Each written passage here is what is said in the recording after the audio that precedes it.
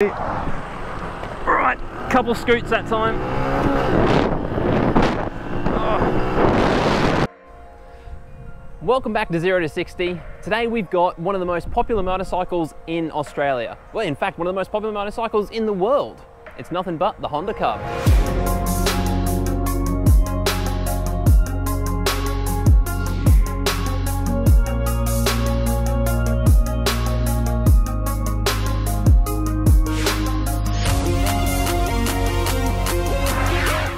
Now do stick around because we're going to have a bit of a closer look at this and going to see how quickly it can do 0 to 100. And while we've got all the GPS gear set up, we'll see what its true top speed is like. Let's get into it.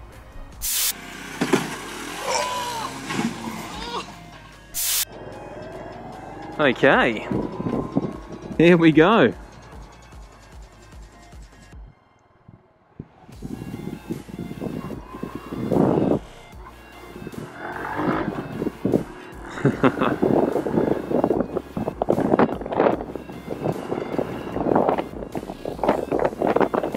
Okay, initial impressions.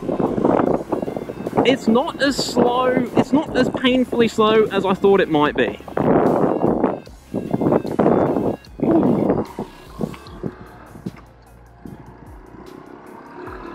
No, okay. Yeah, it doesn't really make much difference between just sitting on the throttle to, um, to yeah, flat out. It is weird, um, not having a clutch. Okay, here we go. Yeah, you've got to be up it just to stay with the traffic.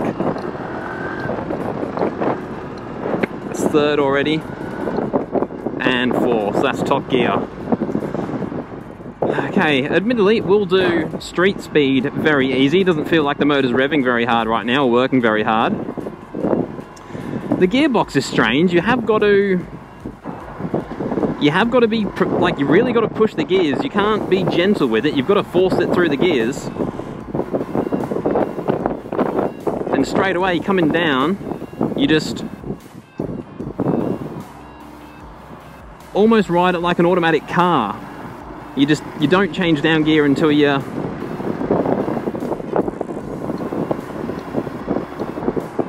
until you've slowed your speed right down. Alright, let's see how it pulls merging onto the highway. I've got nothing behind me, which is good. It is 100 degrees today, so I thought I'll just nip around the block quickly and won't worry about my jacket, so I've got to make it snappy. Alright, that's flat out. Yeah. Actually, that's not too bad. The cars aren't completely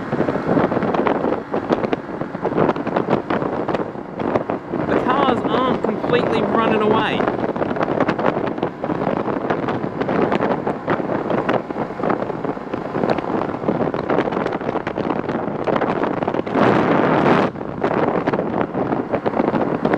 It's still not working too hard.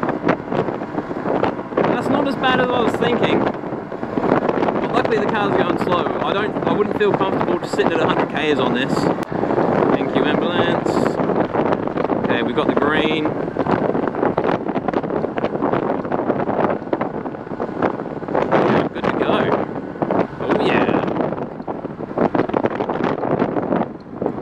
Aren't too bad.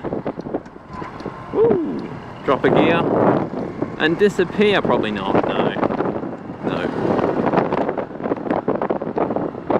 Okay, awesome run. Be back at work in no time.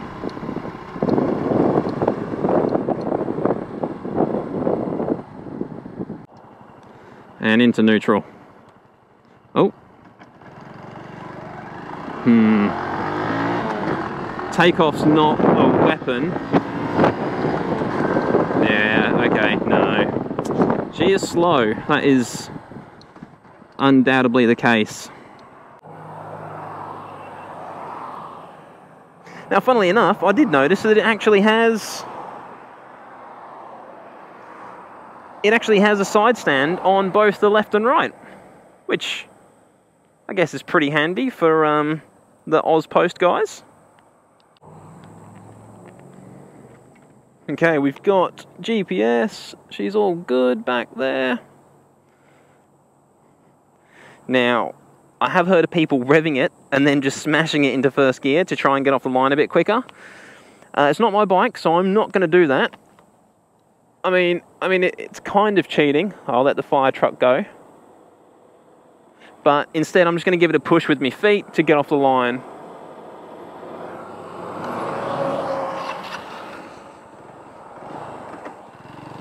Okay, so, are you ready? Go. To the boards. And get streamline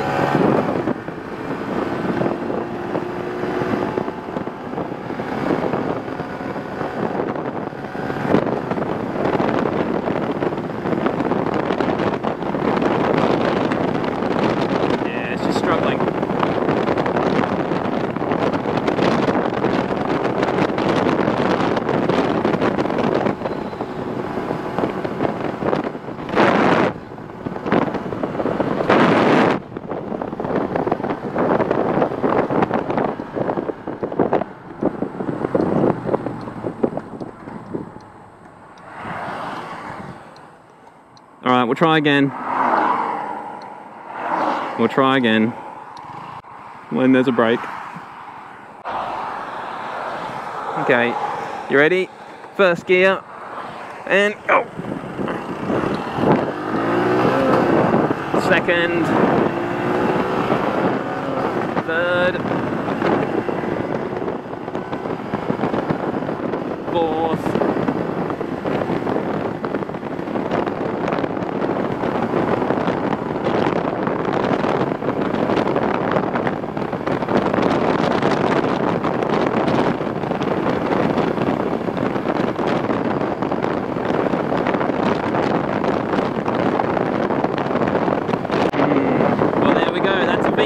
I didn't even look like I got anywhere near 100. I thought it was going to do that, to be honest. I thought it was going to get 100. Speedo goes up to 120. Um, but yeah, the wind resistance, as soon as you get to that 80 k's an hour, it's just a bit much for it. Although it doesn't, although it struggles to do 100 k's an hour, it's, um, I mean, it's a lot of fun to just bomb around through the, through the back streets like this. And I guess that's why they're so popular. It's just a good commuter. It's actually quite comfortable until you get to that 80 k's an hour, of course. And I don't know if it's because I've grown up seeing these bikes on the footpath delivering mail, but I feel, I just immediately feel like I can just ride onto the footpath and won't get in trouble, which you don't get on other motorbikes. And I'm not going to do it because that would be irresponsible.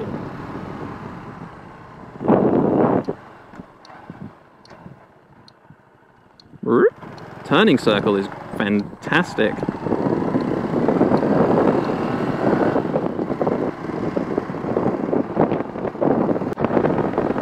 And it does actually, it turns okay at these speeds. It's very flickable. It just needs like another four horsepower. Like, yeah, just, just double the power and it'll be okay. the confusion about these postie bikes are, well, people are confused between, people get the CT110s and the Super Cubs mixed up. I think it's primarily because Australia Post used to, well, they used to run the CT110s, so that's, that was the postie bike. Everyone referred to them as the postie bike. And then I think around in 2013, they uh, replaced the CT110s with, with the Super Cubs. Uh, you know, just a little bit more modern. Maybe not quite as uh, strong and robust, but strong enough for the job. And they've got you know luxuries like electric start and um, yeah, we're just a, a, little bit easier for the guys to guys and girls to ride. But obviously, everyone on the streets just saw them transition from the CT110s to the Super Cubs, and then they were still called postie bikes. So people thought that yeah, the CT110 and the Super Cub is the same bike, but yeah, Honda's actually been producing them at the same time for a very long time. I don't know if they still do the CT110s actually, but yeah, the these Super Cubs are still going, and I think in 2019 or 2020, the, the newest version Uh, they've actually finally updated things like the brakes, so it is does now have disc brakes and um, and they've upped the CC to 125. So again, I'm sure it's not a, a powerhouse, but it might just be a little bit easier to do highway speed on. Okay, I say it's weird using the heel to go, I don't like it. I have to use my toes. It just feels so unnatural. I don't know if anybody actually uses it. Maybe it's just because my legs are a bit too lanky, I don't know. that's how you get smooth shifts. So when you're changing down, if you blip the throttle as you change down, it um, it kind of rev matches and then it's a, a very smooth shift. And when you're going up, you just back off, close the throttle for a second, and it um, yeah, it's a nice upshift. So they are damn easy to ride, and pretty quickly I forgot about not having a clutch lever. So it's yeah, it's got to be a good thing, especially if you're trying to do something where you need, where you want to use one of your hands constantly, like delivering mail. So I do get it.